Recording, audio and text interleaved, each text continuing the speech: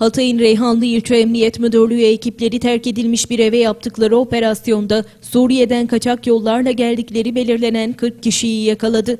İlçe Emniyet Müdürlüğü ekipleri terk edilmiş bir eve yaptıkları operasyonda Suriye'den kaçak yollarla geldikleri belirlenen 40 kişiyi yakaladı.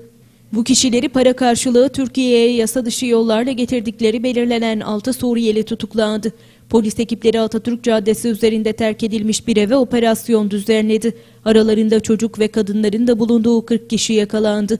Suriyeliler işlemlerinin ardından İl Göç İdaresi Müdürlüğü'ne teslim edildi.